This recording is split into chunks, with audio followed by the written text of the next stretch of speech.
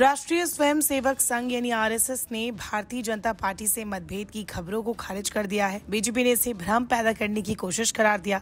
संघ के सूत्रों ने यह भी मानने से इनकार कर दिया कि लोकसभा चुनाव को लेकर मोहन भागवत की आलोचनात्मक टिप्पणियाँ बीजेपी को निशाना बनाकर की गई। संघ से जुड़े सूत्रों ने कहा कि आरएसएस और बीजेपी के बीच कोई दरार नहीं है। दरअसल, विपक्षी नेताओं का दावा है कि भागवत की टिप्पणी लोकसभा चुनाव में उम्मीद के मुताबिक प्रदर्शन नहीं करने के बाद बीजेपी के शीर्ष नेतृत्व को एक संदेश है, जिसमें उन्होंने कहा था कि सच्चा सेवक कभी अहंकारी नहीं होता। ऐसे में संघ का ये ताज़ा बयान बेहद महत्वपूर्ण माना जा रहा है। संघ से जुड़े सूत्रों के मुताबिक 2014 और 2019 के लोकसभा चुनावों के बाद भागवत ने जो भाषण दिए थे, और इस बार का जो भाषण है, इनमें बहुत अधिक अंतर नहीं है। किसी भी संबोधन में राष्ट्रीय चुनावों जैसी महत्वपूर्ण घटना का संदर्भ होना लाजमी है, लेकिन इसका गलत मतलब निकाला गया और भ्रम पैदा करने के लिए इसे संदर्भ से बाहर ले जाया गया। उनकी अहंकारी वाली टिप्पणी कभी भी प्रधानमंत्री नरेंद्र मोदी या बीजेपी के किसी नेता के खिलाफ नहीं थी। बता दें कि अपने भाषण में भागवत ने मणिपुर में एक साल बाद भी शांति बहाल न होने पर चिंता जताई थी। साथ ही उन्होंने चुनाव के दौरान विमर्श की, आलोचना की थी और चुनाव खत्म होने और नतीजे आने के बाद क्या और कैसे होगा इस पर अनावश्यक बातचीत के बजाय आगे बढ़ने का आह्वान किया था। विपक्षी नेताओं ने बीजेपी और मोदी पर निशाना साधने के लिए उनकी टिप्पणियों को हथियार बना लिया।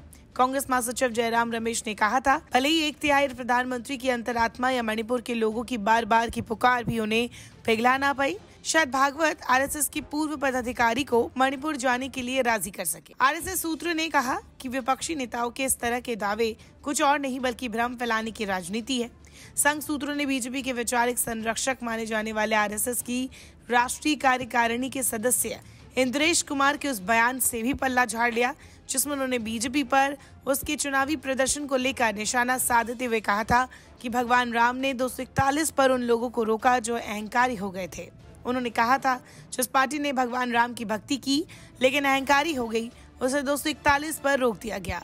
हालाँकि वो सबसे बड़ी पार्टी बनी, जिन लोगों का राम में कोई विश्वास नहीं था, उन्हें एक साथ दो सौ चौंतीस पर रोक दिया।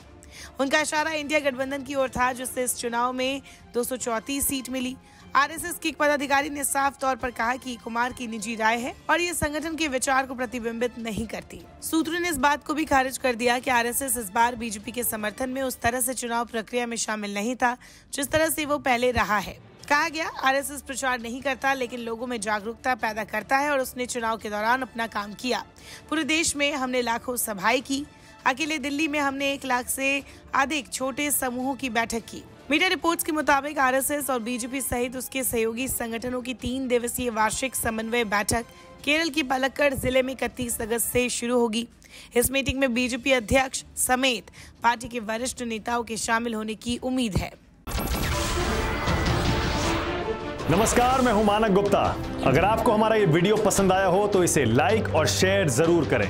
और हाँ हमें सब्सक्राइब और फॉलो करना ना भूलें, ताकि आप देश और दुनिया की कोई खबर मिस ना करें।